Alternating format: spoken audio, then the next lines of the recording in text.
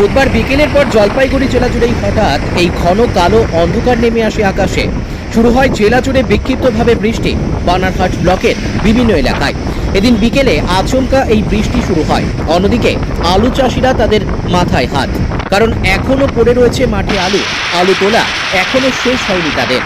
চাষিদের আশঙ্কা, মাটির আলু মাটিতেই পচবে। তা নিয়ে দুশ্চিন্তায় রয়েছেন কৃষকদের একাংশ। অন্যদিকে আবহাওয়া দপ্তর আগেই জানিয়েছিল, সপ্তাহ ধরে প্রাকৃতিক দুর্যোগের কথা। সেই অনুযায়ী বুধবার বিকেলে শুরু হয় বৃষ্টি, দমকা হাওয়া এবং বিদ্যুতের ঝলক।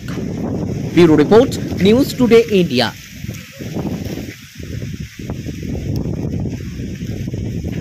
अब के अपने शहर इस्लामपुर में मिल रहा है एलईडी लाइट मेटल बोर्ड?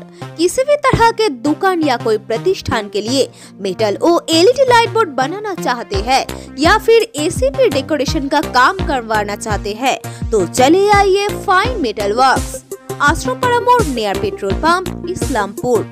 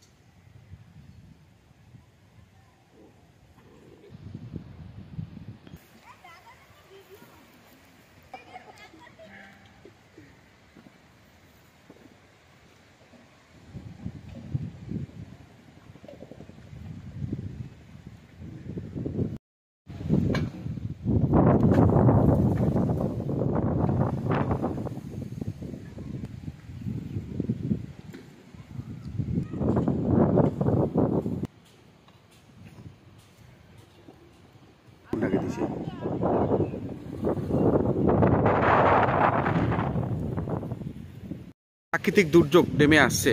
আকাশ অন্ধকার হয়ে গেছে। এই মুহূর্তে আলু এখনও মাঠ থেকে উঠাতে পারেননি। কি ভাবছেন এবং কি মানে চিন্তা হচ্ছে? এখন বৃষ্টি আসে তাহলে তো আলু পচবে। মাটি পচবে? মাঠেই পচবে। কি মনে হচ্ছে আপনার? এখন যদি আকাশ ভালো হয় তাহলে তো আলু ভালোই থাকবে। যে পরিস্থিতি এখন ঘন কালো অন্ধকার হয়ে গেল আকাশ তো এই মুহূর্তে কি মনে হচ্ছে? মনে হচ্ছে তো হাওয়া উঠতেছে তো বৃষ্টিটা তো থাকবে না চলে যাবে বৃষ্টি হয় তাহলে তো আর করার কিছু নাই। কত টাকা লোকসান হতে পারে? এখানে তো আমাদের খরচা হয়ে গেছে দেড় বিঘায় তো তাও পঁয়ত্রিশ চল্লিশ হাজারের মতো। তাহলে কত টাকা লোকসান হতে পারে? চল্লিশ চল্লিশ পঁয়তাল্লিশ হাজার। তো এই মুহূর্তে- কি অনেকটা চিন্তায় রয়েছেন? অনেকটা মানে প্রচুর চিনতে আছে এখনও। কি নাম আপনার? আমার নাম রাজেশ রায়। কতগুলো আলু করছেন?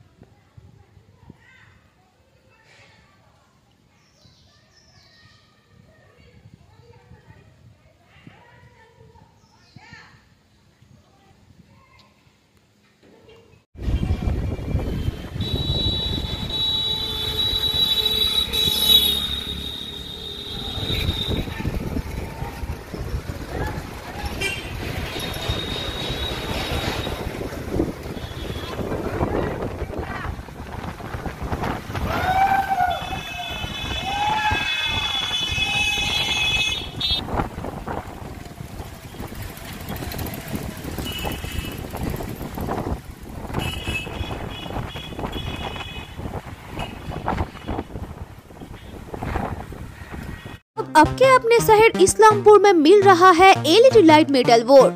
किसी भी तरह के दुकान या कोई प्रतिष्ठान के लिए मेटल ओ एलईडी लाइट बोर्ड बनाना चाहते हैं या फिर एसी पे डेकोरेशन का काम करवाना चाहते हैं तो चले आइए फाइन मेटल वर्क्स। आश्रम मोड़ नियर पेट्रोल पंप इस्लामपुर।